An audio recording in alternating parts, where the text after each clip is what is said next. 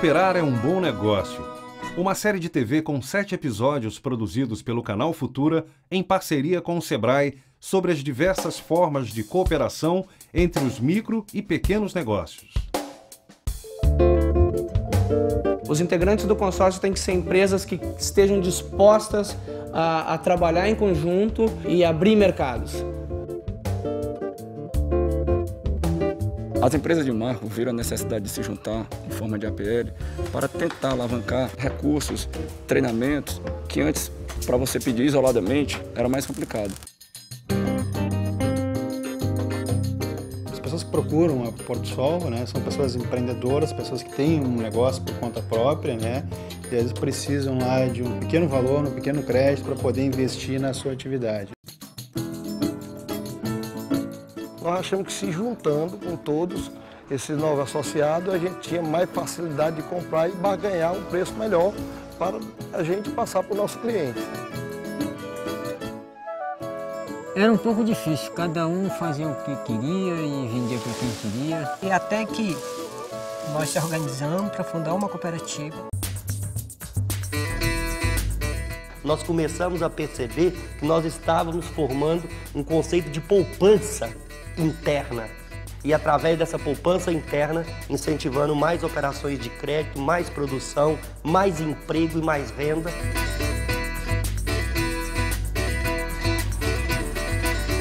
Quando a gente não trabalha em associação, nós ficamos muito vulneráveis. Significa renda, um pouco mais de renda, né, para nossas famílias. Desenvolvimento, de, significa é, união. Em cada episódio, apresentamos uma forma de empreendimento coletivo através de histórias reais de pessoas e empresas que juntas superaram o desafio inicial de se unir para alcançar melhores resultados nos negócios.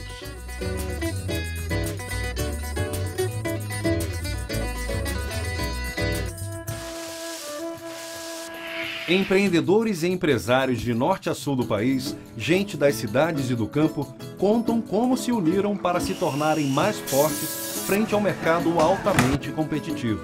Nós éramos concorrentes ferrenhos, cada um em seu município, cada um com a sua empresa. O concorrente nosso, na verdade, não é o meu vizinho, e sim o chinês, o asiático.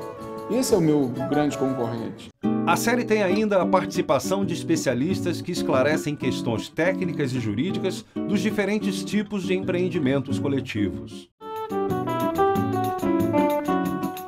Visitamos quatro regiões do Brasil.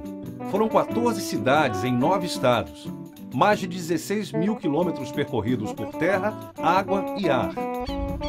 Bento Gonçalves é a maior produtora de uvas e de vinhos finos do Brasil. Você já ouviu falar num pequeno município chamado Marco? Fortaleza é conhecida por suas belas praias. Esse é Mercado Público de Porto Alegre, Rio do Sul, Santa Catarina. Esse rio é conhecido como Paraná de Urucará.